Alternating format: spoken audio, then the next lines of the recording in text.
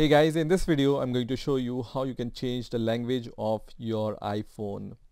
So let's get started. So what you need to do is you need to press this settings icon here. So I'm going to press on the settings icon and once I press on the settings icon I just need to press on this general button here.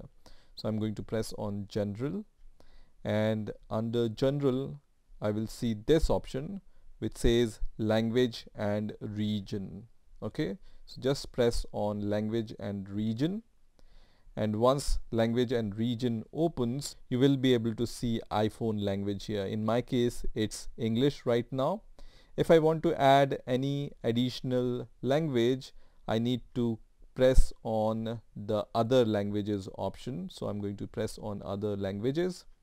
And from here I can choose any other language so let's say I want to choose this German language. So I'm going to just press on German and then it's going to give me this kind of warning. So I'm going to just press on change to German.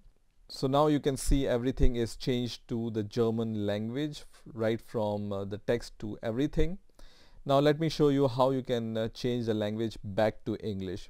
So for that what you need to do is you need to just drag this English language at the top of this list okay? So once you drag this English language at the top of your list it will be your preferred language and then you just need to press on the red option here. So I'm going to just press on this red option. In this way you can change the language back to English and you will see here at the top what is your uh, preferred language right now. So right now English is my preferred language and don't forget whatever language is at the top of this list will be your system language of your iPhone. So I hope you've enjoyed this video and I will see you in the next video.